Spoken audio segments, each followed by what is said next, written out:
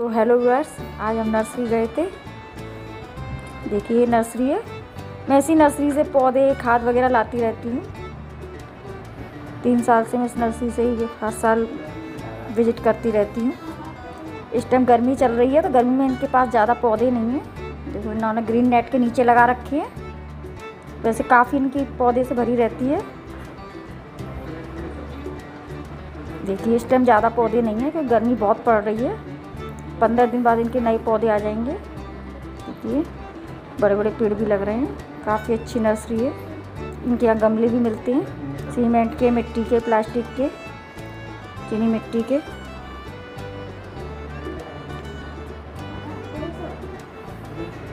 ये बाहर रोड है।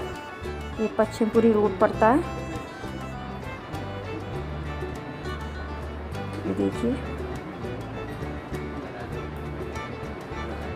इनके यहाँ के पौधे मेरे यहाँ लग रहे हैं, काफ़ी अच्छे पौधे निकलते हैं। खाद वाद भी ये काफ़ी अच्छी देते हैं। गमले भी मिलते हैं, गमले भी मैं यहीं से लेती हूँ। देखिए। ये इनकी दो जगह ले रखी है इन्होंने, ये भी यहाँ पे भी है, यहाँ पे ये खाद वगैरह देते हैं और काफ़ी पौधे यहाँ भी लगे हुए हैं। यहाँ प्लास्टिक के गमले वगैरह, यहाँ भी काफ़ी पौधे लगा रखे हैं इन्होंने। देखिए ये ये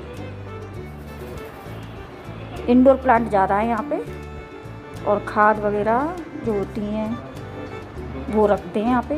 देखिए, खाद का इनका पूरा वो लगा हुआ है। इसको की खाद देते हैं, प्लास्टिक के गमले। ये देखिए, काफ़ी अच्छी वैरायटी रहती है इन पर